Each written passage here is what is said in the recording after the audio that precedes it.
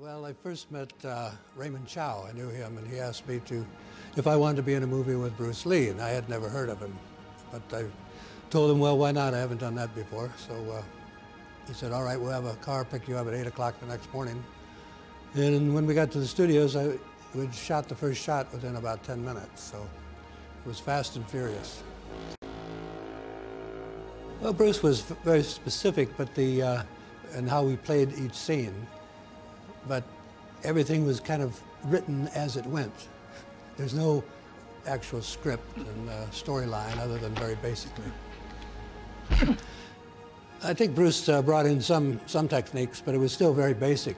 Films were shot in 16 millimeter with no sound.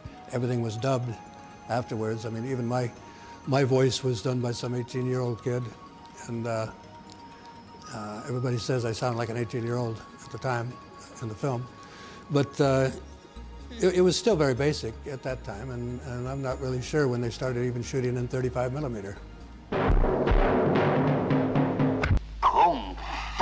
Up to uh, today, well, say yesterday, but every day for the last 27 years, people have uh, come up to me and either said Lee Siu-lung or Kung Fu, because I said Kung Fu in the movie at one point, and so I was given the nickname Kung Fu. And uh, for years, everybody calls me Kung Fu, even on the MTR uh, day before yesterday.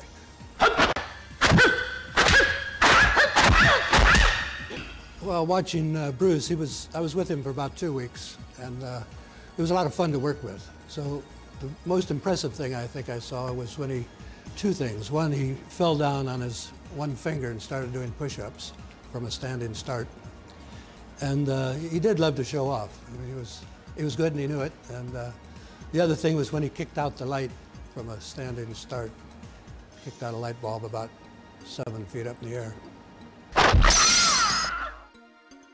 I was sitting in the chair in the office when he, uh, Bruce pushed me, and he said, I don't want to hurt you, so I won't. And the first time he pushed, he pushed so hard, he, the whole chair went over. and so they had to put one guy behind the chair to hold it up for the next time. But he didn't really hurt me. Bruce, when, uh, when he was rehearsing, he acted most more like an American. I mean, he was very San Francisco street smart. He was joking all the time. He had a lot of fun. We all had a lot of fun doing it. I remember the first time I was just standing there kind of staring off into space with a cigar in my mouth, and the first time uh, he kicked out my the ash in my cigar, and I did, the cigar itself did not move at all, but the ash was not there. When I first saw the, I uh, went to the premiere, and I was kind of embarrassed, to tell you the truth. But uh, it was it was fun. It was interesting. I mean, see yourself on the big screen. It's uh, it's kind of a kick. I enjoyed it. Well, the most uh, memorable thing I remember about Bruce, other than the fact that it was just enjoyable working with him, was one day he says, "Jon, I won't make you rich, but I'll make you famous." And that was true. He didn't pay me a thing.